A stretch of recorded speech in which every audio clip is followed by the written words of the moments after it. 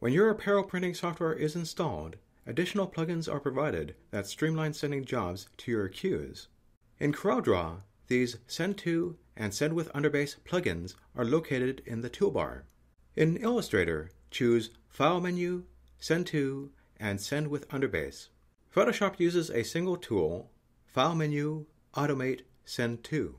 Note that your Photoshop design cannot be on a background layer. Fix this using the Layer from Background command. These plugins are easier than File menu Print because you simply choose the destination queue. The plugins ensure that job data is prepared correctly for garment printing.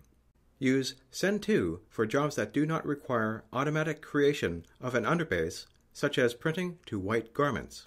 Use Send with Underbase to automatically create underbase information for printing to black or color garments.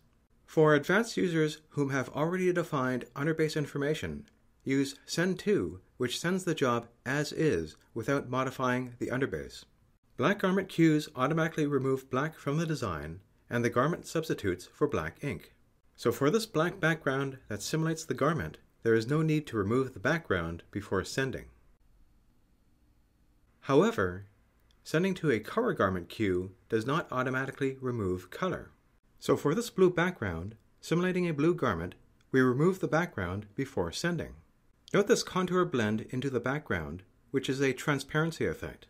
When processed, such transparency data is used to calculate the correct amount of white underbase and color information so that the expected blending is reproduced on the garment.